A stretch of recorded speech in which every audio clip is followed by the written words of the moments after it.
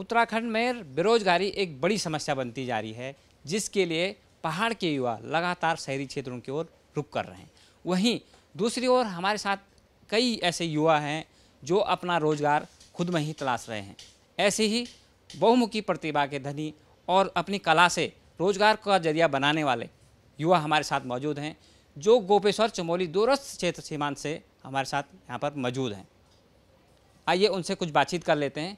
क्या उनके मन में है? सबसे पहले आपसे ये जानना चाहते हैं कि कब आपको ये सब कला को जो है उकेरने का मन करा और आपने इसको चित्रों में ढाला? ये बात है सिक्स क्लास की जब से मैंने पेंटिंग में इंटरेस्ट लेना शुरू किया। तो नॉर्मली कलर से तो करता ही था तो उसके बाद टेंथ पास हुआ इलेवंथ में जाके अ, ये सोचा कि कुछ यूनिक किया जाए। अ, फिर अ, पेंटिंग का इंटरेस्ट तो था ही उसी में कुछ यूनिक करने की चाह थी तो अ, मिट्टी से पेंटिंग बनाने की सोची। फिर स्कूल में घर में आसपास लोगों ने कई बार कहा कि इंजीनियर डॉक्टर ये फ़ील्ड साइंस साइड का स्टूडेंट है तो ये फ़ील्ड चुन ले। पर अ, मुझे अ, मन में हमेशा ये बात थी कि घोड़े की रेस में कभी नहीं दौड़ना अलग से जाना यूनिक कुछ काम करना जिससे कि अलग से पहचान बने। इस अ, इसी वजह से मैंने पेंटिंग शुरू की। तो मिट्टी की पेंटिंग को अभी लगभग एक ही साल हुआ है और एक ही साल में दो से ढाई सौ तक पेंटिंग बना चुका हूँ। ये जो पेंटिंग आप बनाते हैं पेंटिंग बनाने का एक अलग अंदाज होता है और इसको सीखने और बनाने का भी बहुत अलग तरीका होता है। ये सब कहाँ से आपके मन में आया और कब जो है आपने इतनी अच्छी कलाकारी सीख ली?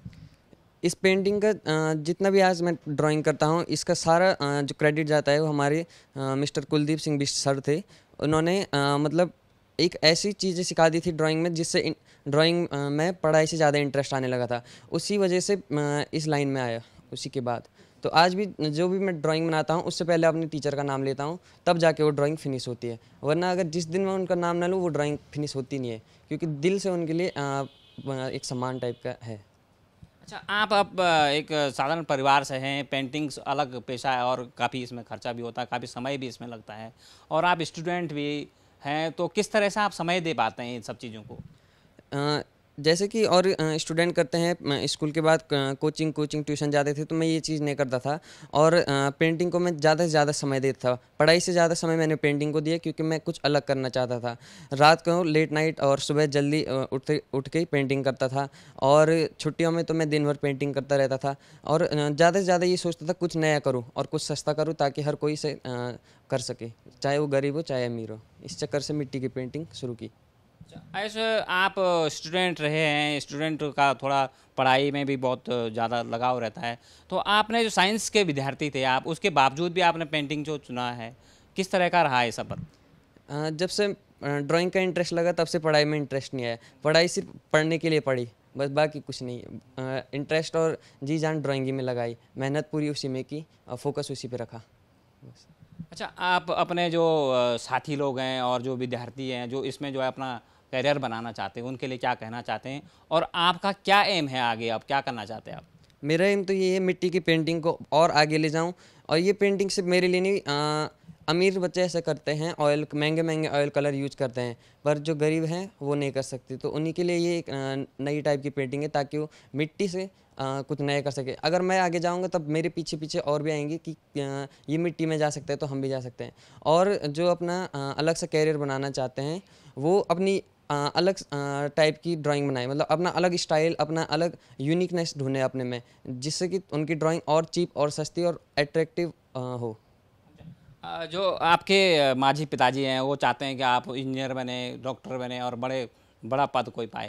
लेकिन आपने पेंटिंग चुना है कितना आप चुनौती पाते हैं इसमें और क्या इसमें भविष्य आप देख रहे हैं? धीरे धीरे तो मम्मी पापा मान ही गए थे। अब तो वो यही चाहते हैं कि जो भी है अपनी खुशी से करे। पर लोग कई बोलते हैं अभी भी कि इसमें कुछ नहीं रखा है। ये खाली मतलब एक शौक टाइप का है। इसे खाली एक ड्रामा टाइप का मानते हैं बस यही है। कई लोगों ने तो बोला कि छोड़ दे ड्राइंग पर वो ये दूसरों की बात नहीं सुनी। अपनी सुनी? अच्छा आप युवा हैं और युवाओं को क्या प्रेरणा देना चाहते हैं? कितना भविष्य आपको लगता है इसमें? क्या करियर बन सकता है? क्या इसको जो है आर्थिकी का जो है एक ज़रिया मान सकते हैं आप? हाँ अगर अपनी पेंटिंग में कुछ ऐसी बात डाल दो जिसे हर कोई अट्रैक्टिव हो तो आपकी एक ही पेंटिंग कम से कम लाखों करोड़ में बिक सकती है। और इसमें कोई बुरा नहीं है आ, फिर टाइम बचेगा आपका एक पेंटिंग ज़्यादा से ज़्यादा दो तीन घंटे लेती है।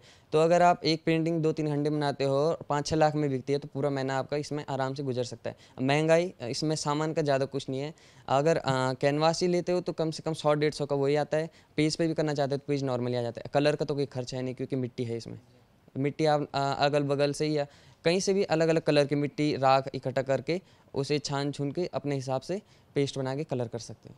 ऐसा जो अपने साथी हैं जो इसमें करियर बनाना चाहते हैं उनके लिए क्या प्रेरणा आप क्या बात आप कहना चाहते हैं जो दिल से निकल रही हो? अभी से स्टूडेंट लाइफ से अपना एक एम बनाओ इधर उधर कहीं मत भटको उस एम पे फोकस रखो। और आ, बुरे लोगों को छोड़ के अच्छे लोगों से मिलो जो आ, मतलब आपको सपोर्ट करे और आप ही की तरह ऐसे फ़ील्ड से रिलेट करते हो। तभी आप जाके सक्सेस होंगे वरना अगर इधर उधर भटक गए तब मुश्किल है। तो ये थे हमारे साथ युवा प्रतिभा आयुष बिस्ट जिनका साफ़ तौर पर कहना है कि अगर आपके अंदर हुनर है तो आपको कहीं भटकने की ज़रूरत नहीं है। इसलिए आपको अपने हुनर पर विश्वास रखने की ज़रूरत है। अपने साथी धर्मेंद्र के साथ भानुप्रकाश नेगी, नेपाल वन, देहरादून।